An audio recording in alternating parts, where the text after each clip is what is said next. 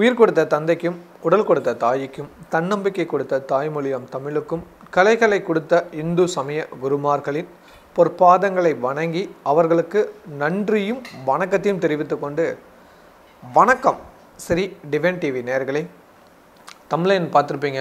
கூர்ம ஜெயந்தியை பற்றின ஒரு விளக்கம் கொடுத்துடலாம் அப்படின்ட்டு.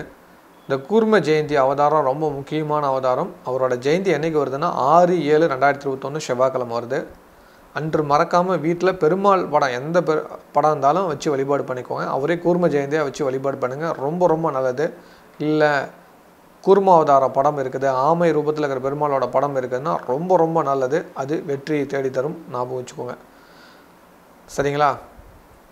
பெருமாளோட பத்து அவதாரங்களை ரெண்டாவது அவதாரமாக எடுத்தது வந்து கூர்ம அவதாரங்க ஆமை வடிவ அவதாரம். இந்த அவதார நோக்கமே பார்த்திங்களா நீண்ட ஆயுள் பெறத்துக்காக அமிர்தம் கிடையணும் அப்படிங்கிறதுக்காக தான் இந்த அவதாரமே வந்தது. இப்போ இருக்கிற பேண்டமிக் டைமில் கண்டிப்பாக கூர்ம அவதாரங்கிறது ரொம்ப முக்கியம். அவரோட வழிபாடு அவரோட அருளாசி அனைத்து மக்களுக்கும் கிடைக்கணுங்கிறது தான். உலக மக்கள் அனைவருக்கும் பெறணுங்கிறது தான். உலக நன்மைக்காக தான் அவதாரங்களே பெருமாள் எடுத்தார். சரிங்களா? இப்போ இந்த அவதார நிகழ்வு எப்படி நடந்தது அப்படின்னு அந்த கதையை கேட்டாலோ இதை படித்தாலோ புண்ணியன்னு புராண காரணங்கள் சொல்லுது. அதனால் இந்த புராண கதைகளெல்லாம் கேளுங்க இல்லை படிங்க. அது ரொம்ப ரொம்ப நன்மைகளை கொடுக்கும். சரிங்களா? அதற்காக தான் இந்த கதையை பற்றி தெரிஞ்சுக்கிறோம். துருவாச முனிவர் என்ன பண்ணுறாருன்னா சிவபெருமானை வழிபாடு பண்ணி பெருமாளை வழிபாடு பண்ணிட்டு ஒரு மலை ஒரு மாலையோடு வராரு வரும்போது வீதியில் இந்திரன் நடந்துட்டுருக்காரு. இந்திரனை பார்த்தோன்னே இந்திரனுக்கு அந்த மாலையை கொடுக்கலாம்னு நினச்சிட்டு கொடுக்குறாரு. இந்திரன் என்ன பண்ணுறாருன்னா அசால்ட்டு தனம். ஏன்னா இந்திரனுக்கு வந்து எல்லாமே கிடைச்ச உடனே ஒரு அசால்ட்டு தனம் வந்துடும் நம்மளுக்கே ஒரு ஒரு பெரிய ஆளாக மாறிட்டோம்னா ஒரு அசால்ட்டு தனம் வரும் இல்லையா? அதனால் அந்த அசால்ட்டு தனத்தில் அந்த மாலையை வாங்கி யானை விட்றாரு யானையை வந்து அந்த மாலையை பிச்சு போடுறது. பிச்சு போடணுன்னா முனிவர் வந்து சாபம் பண்ணுறாரு உங்களுக்கெல்லாம் அ- வரட்டும். உங்களோட கலைகளெல்லாம் மறையட்டும் உங்களுக்கு அந்த சக்தியெல்லாம் போகட்டும் அப்படின்னு சொல்லி இது பண்ணிடுறாரு. இந்திரனுக்கு இருக்கிற சக்தி எல்லாம் போயிடுது. பெரும் பிரச்சனையாகிடுது அதுக்கு தீர்க்கறதுக்கு யார் வழி? பெருமாள் தான் ஒரே வழி. அதனால் பெருமாள்கிட்ட வராரு. பெருமாள்கிட்ட வணங்குறாங்க. இப்படி நடந்துருச்சு அப்படின்ட்டு. சரி அப்படின்னா என்ன? உங்களுக்கு சக்தி வேணுமா? ஓகே. அப்போ அமிர்து கிடைச்சா தான் முடியும். இப்போ எங்களுக்கு தான் வலிமையிலே நான் எப்படி கடைய முடியும் அப்படின்னு தான் சரி அசுரர்களை கூட வச்சுக்கலாம் அப்படின்னு சொல்லிட்டு மேருமலையை மத்தாகவும் வாசுகி பாம்பை கயிறாகவும் வச்சு கடலில் கடையிறாங்க. திருப்பால் கடலில் கடையிறாங்க. அமிர்து வேணும் ஆனால் அந்த மலை வந்து கரெக்டாக நிற்க மாட்டேங்குது. அப்படியே சாயுது இது பண்ணுது. அப்புறம் என்ன பண்ணுறாங்கன்னா பெருமாளை மறுபடியும் வணங்குறாங்க. பெருமாள் உடனே ஆமை ரூபமாக மாறி பூமிக்கு அடியில் அதாவது கடலுக்கு அடியில் சென்று அந்த மேருமலையை தாங்கி நிற்கிறார் அந்த மத்தை தாங்கி நிற்கிறார் இப்போ கடையிறதுக்கு ஈஸியாக இருக்குது. ரெண்டு பேரும் கடையிறாங்க. அப்படி கடையிறப்ப கிடைச்ச முக்கியமானவங்க தான் மகாலட்சுமி துளசி மருதாணி செடி கடல்லேருந்து வந்த முத்து சங்கு நிறையா பொருள்கள் கடல்லேருந்து வந்தது. அதுவும் குறிப்பாக வந்து பார்த்திங்களா காமதேனு கடல்லேருந்து வந்தவங்க. இந்த மாதிரி நிறையா சொல்லலாம். நீங்கள் கேட்டுப்பட்டிருப்பீங்க நான் சொன்னது கம்மி. இன்னும் எத்தனைங்கிறத நீங்கள் கமெண்டில் சொல்லுங்கள் கரெக்டா உங்களுக்கும் கொஞ்சம் வேலை வைக்கலாம். நானும் தெரியாதது எதாக இருந்தாலும் தெரிஞ்சுக்கிறேன். சரிங்களா? ரெண்டு பேரும் இப்படி தொடர்பு வச்சுக்கலாம். அதான் நல்லாயிருக்கும். ஓகேவா கூர்ம ஜெயந்தியில் கடல்லேருந்து என்னென்ன பொருள்கள் கிடைச்சது அப்படின்ட்டு. ஓகே இப்போ நீங்கள் கடல்லேருந்து கிடைச்ச பொருளுக்கெல்லாம் நன்றி சொல்லுங்கள் நல்லது. மகாலட்சுமி வணங்குங்க. லக்ஷ்மி எப்போவும் அருள்வார் ஓகே அதுக்கப்புறம் என்ன கிடைச்சது? அமிர்து விஷம் வந்துச்சு. அமிர்தத்துக்கு முன்னாடி என்ன வரும்? விஷம் வரும். விஷம் வந்த உடனே பயந்துட்டாங்க ரெண்டு பேருமே.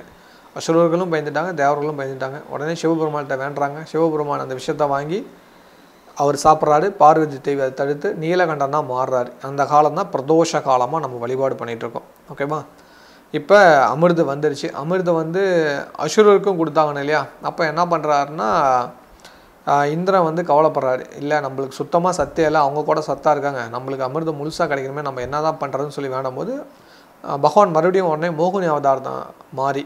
அது முழு அவதாரம் இல்லை. அந்த கொஞ்சம் கொஞ்சம் நேரம் அவர் மோகினியாக மாறி அவங்ககிட்ட என்ன சொன்னால் ஃபஸ்ட் நான் அவங்களுக்கு கொடுத்துட்டு அப்புறம் உங்களுக்கு கொடுக்குறோன்னு சரி மோகனி சொன்னோடனே அசுரர்கள் கேட்டுறாங்க. இப்போவும் பாருங்கள் பெண்கள் சொன்னால் நிறைய பேர் கேட்பாங்க. இது பெண்களுக்கு எதிரானதான் நினச்சிடாதீங்க. சொல்கிறேன் இந்த இடத்துல அந்த சூட்சம விஷயங்களை சொல்கிறேன் அதாவது எப்போவுமே அழகான பொருள் பார்த்துட்டோமா நாம் ஏன்னா சலனப்பட்டுருவாங்களாம். அழகுக்கு மயங்கிடுவாங்களாம். அதனால் சரிம்மான்னு சொல்லிவிடுவாங்களாம் அதனால தான் நீங்கள் வந்து பார்த்தீங்களா ஏரோஸ்டுகள் ஆகட்டும் இல்லை ஒரு சினிமா நடிகை ஆகட்டும் இல்லை பெரிய ஆளுங்க எல்லாமே அழகானவங்களை வச்சுக்கோங்க. அவங்க சொன்னால் கரெக்டாக இருக்குங்கிற மாதிரி ஒரு மீனிங் அதில் இருக்கும். இது நம்ம இப்போ கண்டுபிடிச்சதில் பகவான் அப்போவே சொல்லிட்டார். ரெண்டாவது அவதாரத்துலேயே சொல்லிட்டார். அழகானவங்க சொன்னால் அது ஓகே அதை கேட்டுக்கணும் அப்படிங்கிற தன்மை அது மனசு இலகிடுமா? அந்த அழகில் மயங்கிறதுன்னு வடிவேல் சார் சொல்லுவார்ல அந்த மாதிரி அந்த அந்த ஒரு விஷயம். அதனால் அழகு என்றைக்குமே ஆபத்தானது விஷமானதுங்கிறத ஞாபகம் வச்சுக்கோங்க. அப்போ நம்ம நிறையா விஷயத்துலேருந்து தப்பிச்சுக்கலாம் இல்லையா? அந்த அடிமனசில் வச்சுக்கோங்க. ஓகேவா ஓகே இதில் ஒரு சின்ன ஒரு திருத்தம் தான். இது என் அறிவு கொண்டதை நான் சொல்லியிருக்கேன். இதில் சரியோ தவறோ உங்கள் பார்வைக்கு எடுத்துக்கோங்க. இது என் பார்வைக்கான விஷயம். ஓகே அப்புறம் என்ன நடக்குது?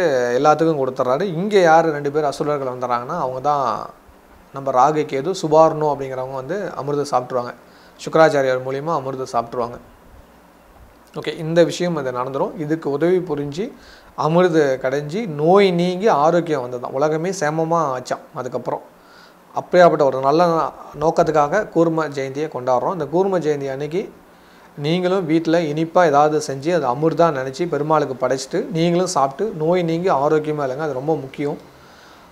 கன்ஃபார்மாக அதை செய்வீங்கன்னு நான் ஆசைப்பட்றேன். ஏன்னா அன்று வந்து ஏதாவது ஒரு இனிப்பு செய்யுங்க. இனிப்பு செஞ்சு பாயாசம் செய்யுங்க இல்லை வேறு ஏதாவது உங்களுக்கு பிடிச்ச ஒரு இனிப்பு எது பிடிக்குதோ அதை செஞ்சு பெருமாளுக்கு படைங்க. இது அமிர்தமாக நினச்சி படைங்க.